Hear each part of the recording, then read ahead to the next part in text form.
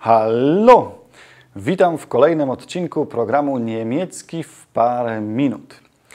Dzisiejszym tematem naszego spotkania będzie, e, a właściwie będą zaimki dzierżawcze. Zaimki dzierżawcze, czyli e, moje, twoje, nasze, wasze, e, to są właśnie te słówka, o których dzisiaj będziemy mówić. Przykład. Mamy ich, du, er, sie, es, wir, ihr, sie, sie. Czyli ja, ty, on, ona, ono, my, wy, oni, państwo. I oczywiście y, do każdego z tych y, zaimków osobowych mamy zaimek dzierżawczy, czyli jeżeli mamy ja, to mój, ty, to twój, on, jego, ona, jej, ono, jego, y, my, nasz, wy, wasz, oni, ich, no i państwo i państwa. Tak widzimy tutaj teraz tabelkę, bo te zaimki dzierżawcze odmieniają się właśnie przez przypadki również, a tą tabelkę pamiętacie Państwo na pewno z odcinka o przypadkach, i ona nam się również teraz przyda, ponieważ te zaimki dzierżawcze odmieniają się e, tak samo jak te rodzajniki nieokreślone, czyli e, rodzajniki nieokreślone, czyli jeżeli mamy tutaj ein, eine, ein na przykład, to wystarczy na przykład tutaj dopisać m i już mamy mein, meine, mein, w akuzatywie byłoby meinen, meine, mein, e, w datywie na przykład meinem, meiner, meinem, a jeśli chodzi o liczbę mnogą, to w nominatywie i w akuzatywie, tak jak jest die, Y, to będzie też końcówka e, zresztą praktycznie jak w liczbie tutaj pojedynczej. Natomiast tu w datywie w liczbie mnogiej będzie końcówka n. W takim razie y, przejdziemy do przykładów, y, żeby to troszkę lepiej zrozumieć. Powiem Państwu, jaki to przypadek, z czego właśnie korzystamy. Proste zdanie. Das ist mein Hund, czyli to jest mój pies. Ja czyli ich i mamy mein, mój, o tym właśnie mówimy. Ten przypadek to y, nominatyw, bo kto, co to jest, dlatego mamy użyte mein. W kolejnym przykładzie widzimy zdanie Ich gehe mit meinem Hund spazieren.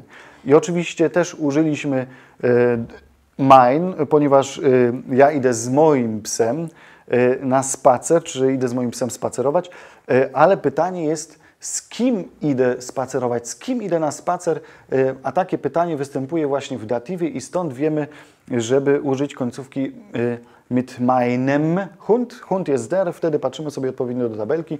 To już Państwo powinniście znać z tego odcinka o przypadkach.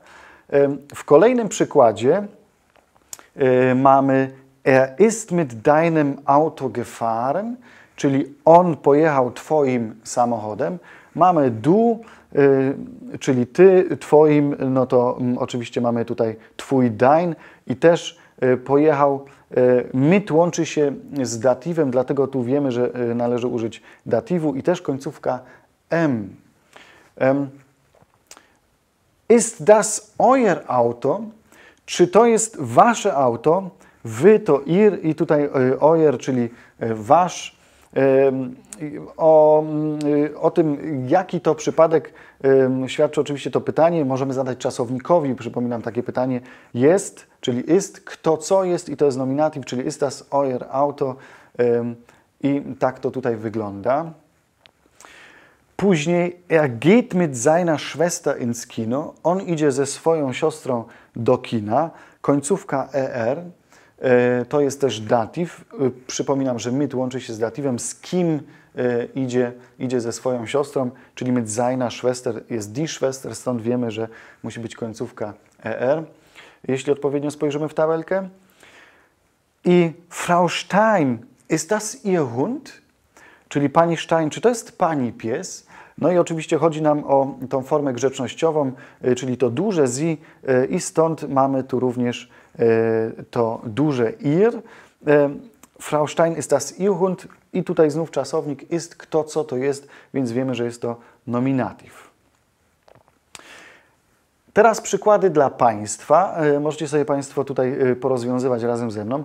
Besucht ihr oft hm, hm, Oma, czyli czy odwiedzacie, i tu mamy ihr, czyli wy, czy wy odwiedzacie często waszą babcię? Ym, proszę się zastanowić. Besucht ihr oft hm, Oma. A rozwiązanie to Besucht ihr oft eure Oma. Czyli ym, czy odwiedzacie często waszą babcię? Kogo co? I to jest akuzatyw odwiedzać kogo co? Eure Oma. Stąd wiemy, że właśnie końcówka taka, a nie inna w tym zaimku dzierżawczym. Hast du hm, hm, Schwester gesehen? Tu mamy sie, czyli ona, więc w rozwiązaniu powinno być, y, czy widziałaś, y, czy widziałeś jej siostrę. Y, I rozwiązanie to Hast du ihre Schwester gesehen? Czy widziałeś jej siostrę? Ich brauche hm, hm, Hilfe. Du, czyli ty, więc y, zrobimy tutaj z tego zdanie potrzebuję Twojej pomocy. Ich brauche hm, Hilfe, czyli potrzebuję Twojej pomocy. Wiecie Państwo, jak to jest? Ich brauche deine Hilfe. Potrzebuję kogo, co i znów mamy akuzatyw, y, czyli końcówka e, bo die Hilfe. Możecie Państwo sobie z tą tabelką później porównywać. Er geht mit hm, Hund spazieren. Tutaj widzimy er, czyli on, więc on idzie ze swoim psem na spacer. Przypominam, że mit łączy się z datywem, czyli z kim idzie na spacer datyw. Y, Hund jest der, więc końcówka będzie Proszę bardzo, er geht mit seinem Hund spazieren, ponieważ właśnie der zamienia się na dem albo einem, stąd mamy tą końcówkę. Das ist hm, Lehrerin, czyli wir, my, czyli to jest nasza nauczycielka. Więc jak będzie nasza nauczycielka? Das ist unsere Lehrerin, czyli to jest nasza nauczycielka. Kto co to jest? I mamy nominatyw.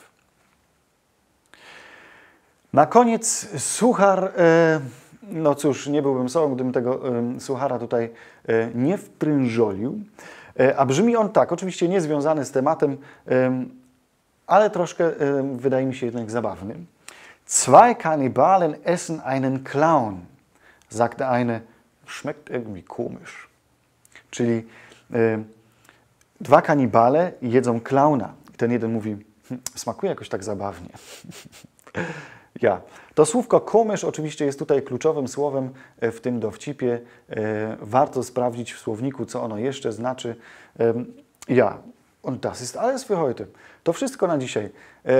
Zapraszam do wykonywania tych ćwiczeń. Możecie Państwo przewijać i wykonywać te ćwiczenia sobie razem z tabelką. Tabelka oczywiście do ściągnięcia e, też na gerlitz.pl łamane przez przypadki. E, zresztą wcześniej w którymś odcinku o przypadkach też było to podawane. Także jeśli Państwo nie macie tej tabelki, możecie sobie ściągnąć lub po prostu z odcinka sobie jakoś przepisać. Przy przepisywaniu też się człowiek uczy. Ja, danke schön. Das ist alles für heute. Bis zum nächsten Mal. Tschüss.